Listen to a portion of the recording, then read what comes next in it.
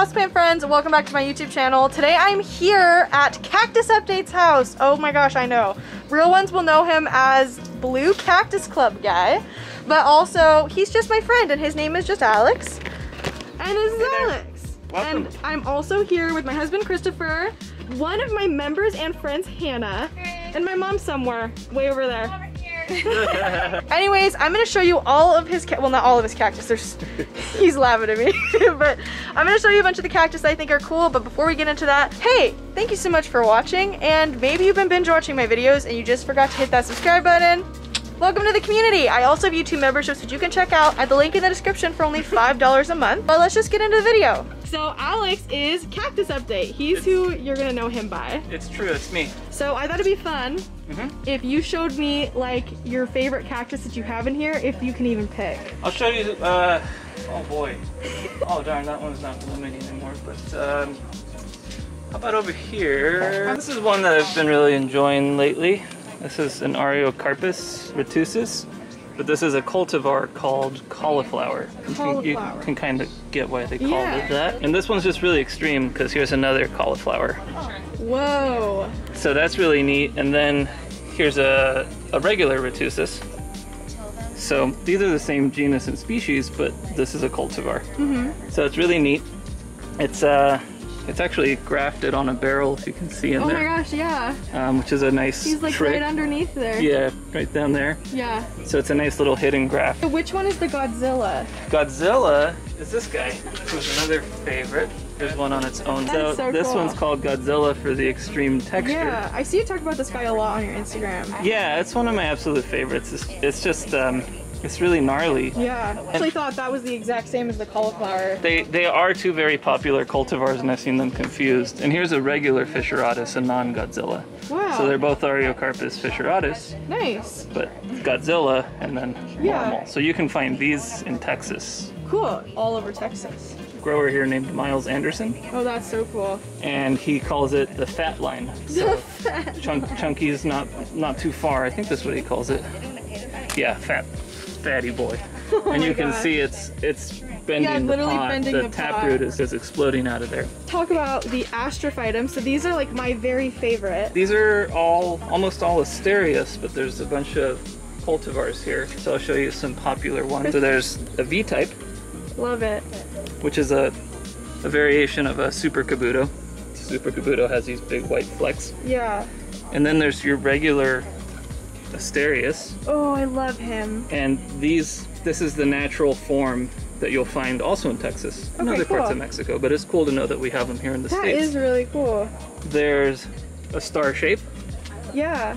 These are really popular.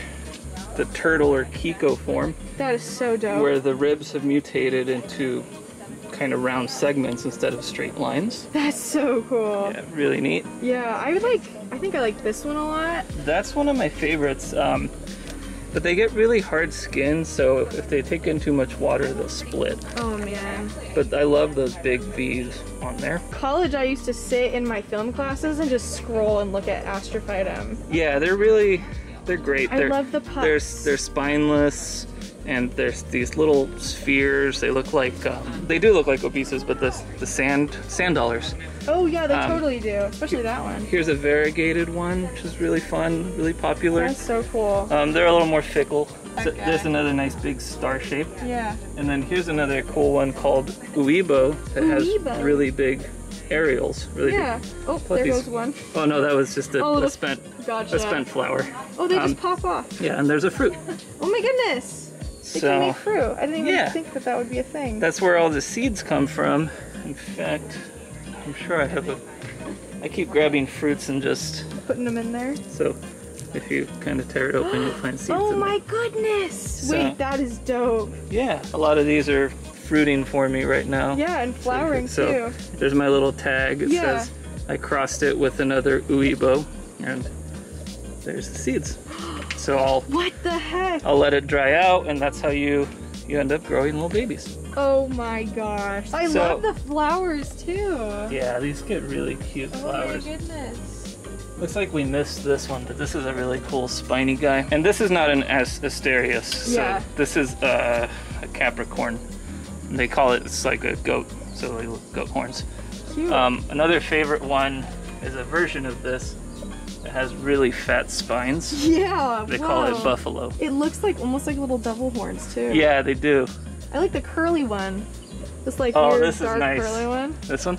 Yeah, that's bizarre. Yeah, it looks like a little bird's nest. Oh my goodness. And you'll know I'm pretty casual about touching them, but a lot of them you shouldn't touch. oh, the little guys. Those are more baby asterias that are desperately asking to be put in a new pot. Oh my goodness. look at So this. cute when they're in a little cluster though. Yeah, they're that is adorable. I would just keep them in there forever and make them cry. I like Let this one too. That looks like an alien. This is really cute. This is a peth- the Epithelantha bokei. Um, and it has the finest spination of Pithalanthus. Whoa. Um, and it's, you know, they're fun to like squeeze and it touch. literally looks like an alien. They do. They're like little alien life or like a weird fungi or something. Yeah. These are fun. That is so Lophophora, cool. freaky eye. Freaky. Yeah, some people say it's something else, but these are fun. They're like, Oh, like, it is a fun like ripe tomatoes. You want to squish? Oh my god. Chris? You want to touch a cactus? you want to touch the Gentle. cactus? Oh my gosh, that's awesome. In demand cactus, Copiapoas. Well, Mhm. uh, Sorry. Ariocarpus, Copiapoa, and Astrophytum are kind of the trendy plants right now. Everybody's trying to find like a Columna alba or Cinerea. So these all get tall, right? If you grow them for t- long enough, they'll all get like this, right? Not quite. They'll get more like that, Okay. or they'll start to cluster like this. Okay. Because I've So- seen some like what I think are astrophytum that like, or maybe they're not astrophytum. You have seen they're Astrophytum that get columnar yes, like that. Those. So, and then really old Asterias, they do get a little tall, Huh. but not quite columnar, right? They're still glo- globose, I think is So the they won't just they like grow like the other ones. No, they, so they, they describe cacti um, as columnar, globose, and I don't remember what else because Yeah. I forget. Columnar really means like it grows tall. Yeah, grows really tall. Arms. He's so dope. Yeah. You posted photos of him, right?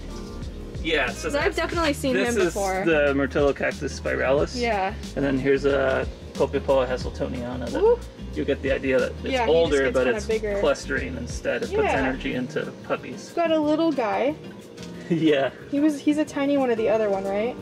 The first Exactly. ones we were looking at? Yeah, it's a tiny um, retusus, Ariocarpus Retusus. retusus. Cool. All these are from a project I'm doing with friends where we're going to try and sell staged plants. That's cool. See how that goes.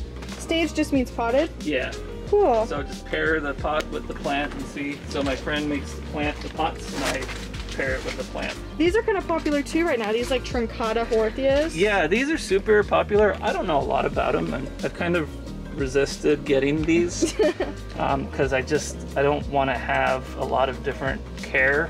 yeah. This is Oh, a neat he's one, the a variegated, one. one. That one's popular. Yeah, it's really cute. I water them a lot. I don't know a lot about them. What is that? This guy? yeah. This is a stenocactus. They actually changed the genus to Echinofossulocactus. Those are brains. they're brain cactus. And so some of them, like this one's called Whoa. multicostatum because it has a, a ton of That ribs. almost like triggers me a little. Stop That's looking at it. Oh, there's one up there too. Yeah. So this is another one of those staged plants. I love that. Yeah, so these are stenocactus. People tend to sleep on these. You can find them pretty cheap. Y'all are sleeping on it. yeah, and that's okay. Keep sleeping. This weird. So this is guy. Pseudolithos.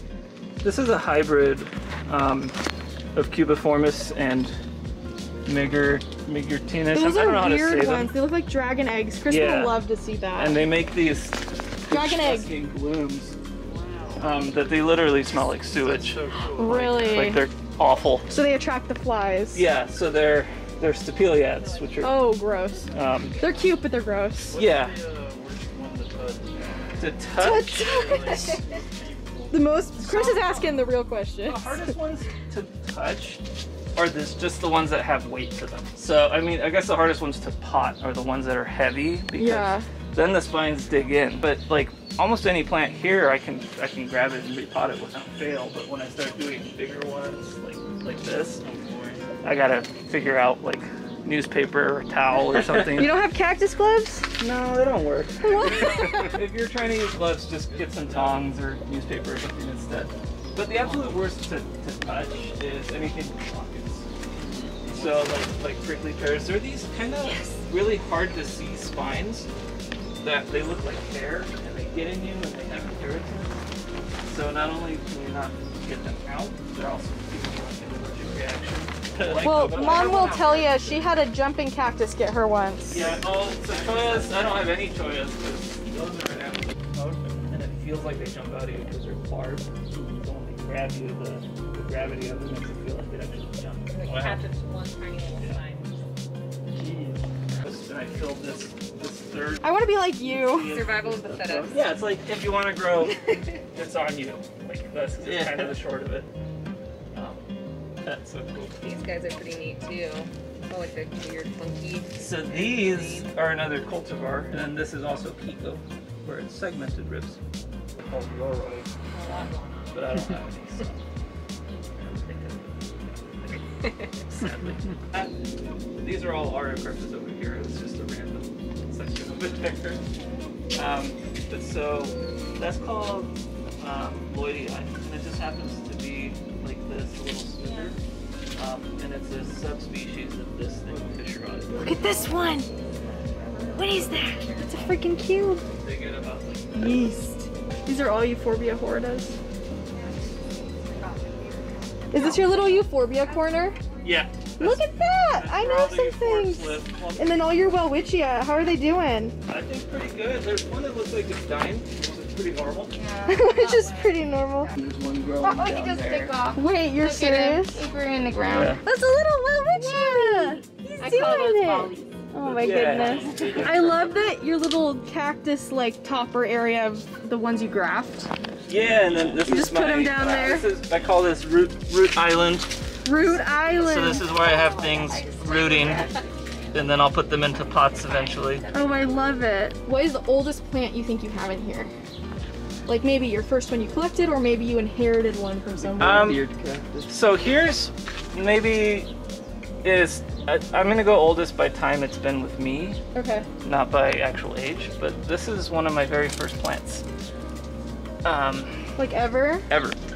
Aw. that like that I bought for myself. There's a barrel cactus at my dad's that was my Yeah. official first plant, but this was the first time I bought a plant from a nursery, and it's a Gymnocalycium cardenasianum, which uh, you know who cares if you know the name or not? I don't know the common name, but when I bought it six years ago, it was in a two-inch pot like this. What? You know, six years.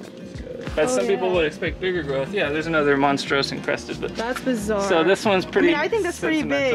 Yeah. If it started like that, you know? This goes with this. Then it, that? I usually have the tag facing back. That's how I remember. This is the stacker. I cut Oh, the piece off for you. they're siblings. Yep. I'll show that in a second. I cannot wait. You don't even know how excited I am. That is so nice of you. How long have we been like internet friends now? Too long. Something like that. Yeah. Yeah. I mean, I Everyone's know, a racer. I'm not huge. I'm not like a big uh, social media person. Honestly, I I just asked him so many questions all the time. Yeah. And then finally I was like, hey, you want to do like a sticker together? And Yeah. then just went from there. Every time you guys ask me cactus questions, I hope you don't get too flooded. No, I get no, cactus questions all the time, cool. and I'm like, go ask cactus. And I, there, I there's a lot of things I don't know, and I'll just say, uh, Yeah. sorry, I don't really know. I've started doing that too. And now people are like, what's wrong with my plant? And I'm like, I don't know. Yeah. So don't ask. I'm sorry. So what I tell people is to find people in their area that are growing plants. Yeah. That's going to be the best information. Is people with the same situation. Yeah, the same environment. Also, you have these things on there? oh, so I think these are hilarious. Oh, he loves these. These are um, I looked at it, I was like, that's Decoration. What do you call them? Accents they call them enhancements. It says enhanced with an everlasting faux flower to brighten your home. Oh yeah. Um, and they're just these hot glued plastic And flowers. so he'll stick them on normal cactus So- and be like, I've enhanced it. Yeah, I'll put them on a on a cactus that a lot of people are obsessed with, and I'll be like, now now it's a good cactus. now we're talking. That's awesome. I I do get a little Enhanced. pleasure with antagonizing people that take this hobby too seriously. Need some of these on your plants, Ashley. No. So, how long have you been collecting cactus? I think six years now. but Wow, only it's- six years. My dad's been doing it for decades. Okay, so you started when you were a kid? I, I mean, I've I've followed my dad around and didn't care very much. Honestly, I was like, why are you, why are you out in the heat with these stupid spiny plants? stupid. and I. I would go with him to nurseries like at Plants for the Southwest. I've Yeah. been going there with my dad since I was in middle school. Yeah. Um, I only really only cared about petting their dogs when I went Yeah. for many years, but now Yeah. I, I go there all the time, and it's it's an obsession. It's just a really fulfilling hobby that really isn't demanding um, unless you go a little overboard. So I would say the last thing is my camera is about to turn off. Sure. What is one one cactus you would tell people that's good to start with? Because everyone asked me this question. I think if you want a good starter cactus, check out like a Gymnocalycium. Mhm. So even this will even pop up at like Home Depot. Yeah. Um, this is a Friedrichii, and this is this is actually from Home Depot. This Oh. is a Damsii. Nice. Um, so Gymnocalyciums are great because they are pretty sturdy. Uh, they'll go a long time without water, but they'll also drink up a bunch of water too. yeah. And they'll they'll be forgiving if you give them a more organic mix, which most people do the first time around. Yeah. Gymnocalyciums are great, or like a like a blue myrtle, Myrtillocactus geometrizans. I always tell people blue cactus. I love blue cactus, but don't touch it because the farina will come off. Yeah, the farina will come off, and the only thing about most blue plants is that they have a really low resistance to cold weather. Yes, good to know. Unfortunately, I gotta wrap up this video because Alex has a kid. He's gotta go get his kid. I do. And also, my camera's gonna die. But thank you so much. And you guys can find Alex at Cactus Update on Instagram. Please go follow him. He's literally like the person I ask for everything, like about everything. Later on, I'm gonna show you the two cactus that he actually gave me, because he gave me two, right? Two little pots? Yeah. So he gave me a little Myrtille cactus stacker and then a couple just like astrophytum babies. Little Asterias. baby. Asterias babies. Yeah. Cool. But thank you guys so much for watching this video. Don't forget to like, subscribe, check out the memberships. Again, check out Alex. He's great. And I'll see you guys in the next cactus section. Thanks for visiting. Thanks for thanks for letting us come. Of Seriously. course, anytime. This is really cool what you're. Everyone says goodbye. Goodbye. So I completely forgot to show you my little haul. This is the Myrtille cactus stacker. This has been on my wish list for forever. And then he also gifted me this teeny tiny asteria and I shared the other one with Hannah.